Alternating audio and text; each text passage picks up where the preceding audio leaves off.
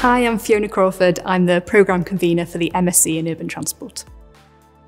So, on the programme, we look at how people get around and how they make those choices about whether to take the bus or whether to walk.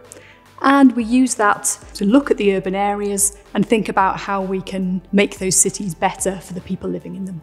Whoever I speak to, they always tell me about some problem they've had, you know, with their local bus service or their trains or how bad the cycling facilities are near where they live. So I think it's something we all really relate to, but it's really important for the bigger issues as well.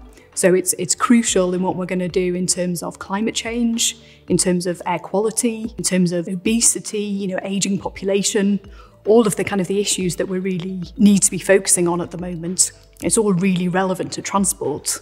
And at the same time, there's loads of really interesting challenges because we've got so much more technology we can use for transport. So this all generates data. So we've got all that information about what people from all across Glasgow are doing, maybe over a whole one year period. And there's so much detail there, but how do you actually go from there to actually saying, right, the local council should put in a bus service in this particular location, for example. So it's a real challenge in terms of how we can actually inform how we're going to make the changes that are going to help in terms of things like climate change.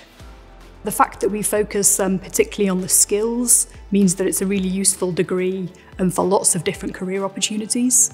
We do have students who go into transport planning or other types of um, transport analysis jobs maybe in consultancy companies or for kind of local or national governments. Particularly on this course, we generally get a really diverse group of, of students from all over the world. So that's one of the reasons why I really love teaching on these courses. It's really interesting to hear different people's experiences from all over the world. We do lots in terms of discussions and really sharing that information. I learn a lot, I find it really valuable, and I know the students do as well um, as well as obviously being in the beautiful city of Glasgow and being able to see all the interesting transport aspects and everything else in the city.